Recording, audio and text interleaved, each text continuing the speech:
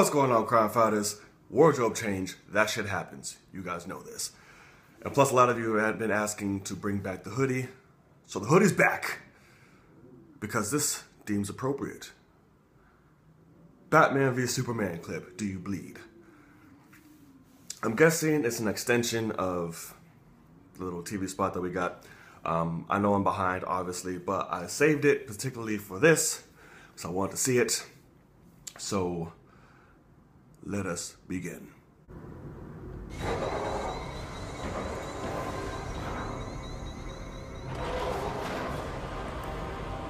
Ripping the dough off my shit.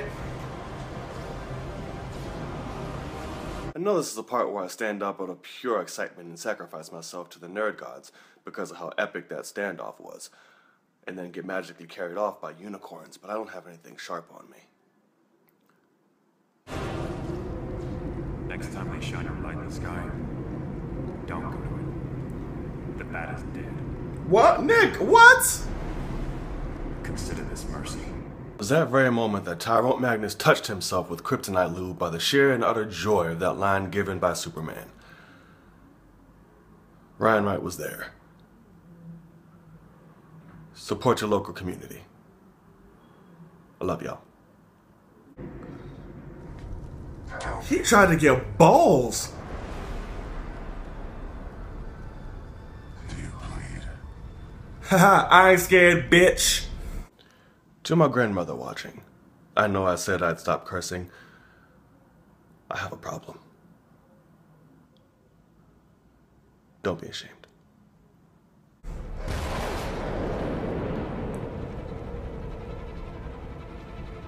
You will. I scared, mother. See? You. Hold on. Now, there's a lot of theories to play off this because that seems a lot more darker than what Superman would do or is or react. Um, but could be wrong. He could just be a badass in this. But you don't step to Batman and act like he gonna be scared of you. You just don't step to Batman and act like he just gonna quiver. I said quiver. For those of you thinking I said the other word, you perverts, good job. I like where your mind's at. For those of you who don't know what I'm talking about about the other word, well, take your girlfriend out for talk all night, then you'll know. You don't step to Batman and just act like he gonna back down. You, first of all, you done came up at the man. You done ripped the dough off my off my whip. You did that. I saw it. I was there. Then you gonna tell me I'm the bat's dead? Consider this mercy? You don't know mercy.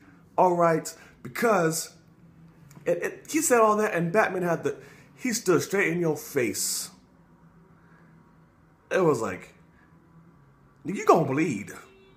I just want you to know that. You you know that car wasn't cheap. You gonna bleed.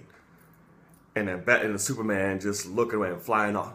Listen, I still say if in this movie they do not have that line, my hand around your throat, and if Batman is not whooping Superman's ass like he's supposed to, I'm not the only one, people, that believes this should happen.